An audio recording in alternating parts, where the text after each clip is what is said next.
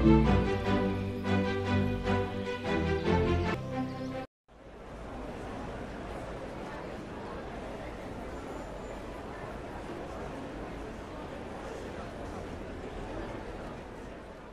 to Bregenz Bahnhof, located in Vorarlberg, the westernmost state of Austria. The original station began construction in 1870, although this was demolished 30 years ago in 1989, before the station was rebuilt 500 meters west of the original location. Looks like the workers haven't finished placing the route maps. Let's place a missing one while you wait.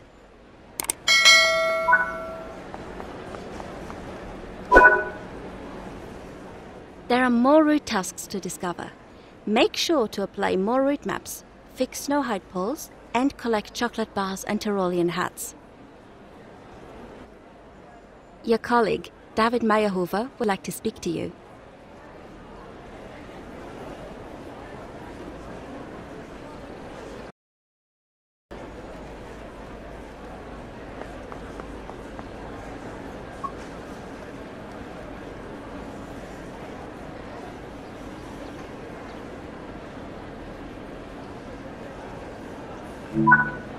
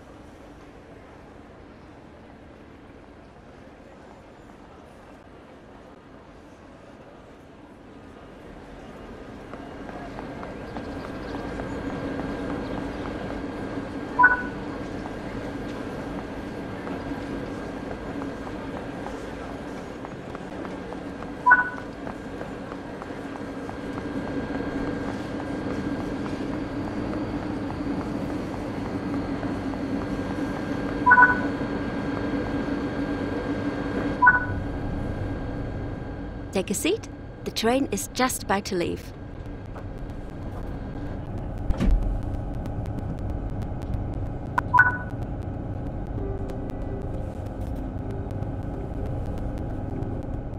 The Vorarlberg Railway was first proposed by railway entrepreneur Karl Ganahl in 1847 when he recognized the necessity for a railway in the area.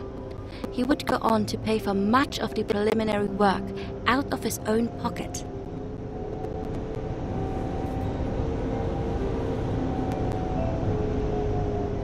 Construction began in 1870 and met many delays due to needing approval from all the neighboring states in the area.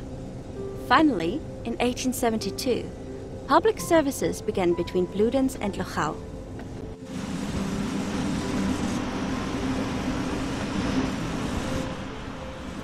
Shortly after, in 1873, connections to the wider Austrian railway network were completed, and services between Zurich in Switzerland and Munich in Germany would use this line.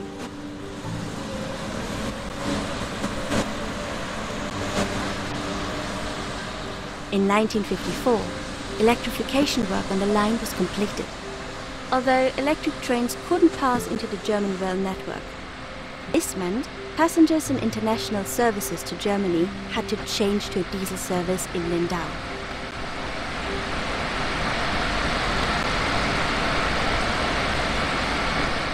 Take the train to Austria. Spanning cross-border, the busy Vorarlberg S-Bahn line shuttles from quaint German island life to the foothills of the Austrian Alps. All new and bustling ÖBB traffic awaits in Train Sim World.